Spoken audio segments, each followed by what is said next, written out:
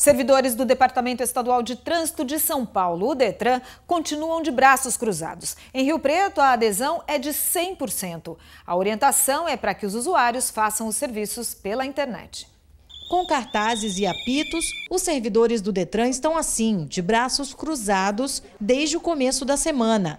Eles entraram em greve por tempo indeterminado e pedem reposição salarial de três anos, além de outros benefícios. Nosso salário base é de 560 e tantos reais e ah, o resto a gente recebe gratificações. Só que essas gratificações elas não contam ao aposentar ou no caso, sofrer um acidente. Também estamos vendo o plano de carreira contingencial no Detran para os oficiais administrativos. Hoje, atualmente, não temos carreira dentro do Detran somente os agentes de trânsito e os oficiais de trânsito.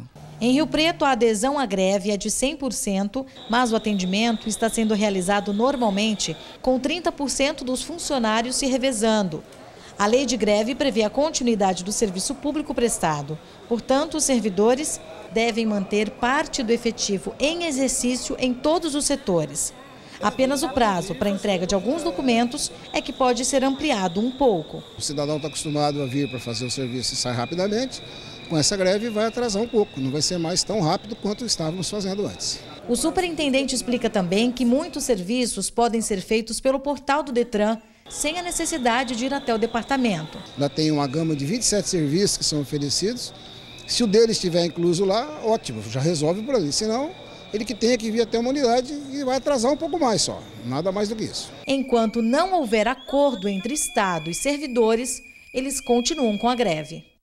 Detran informou que, apesar da paralisação parcial dos funcionários públicos, nenhum serviço foi interrompido. Disse ainda que mantém amplo diálogo com os profissionais e já atendeu a uma das reivindicações, a do Vale Refeição, que está em licitação.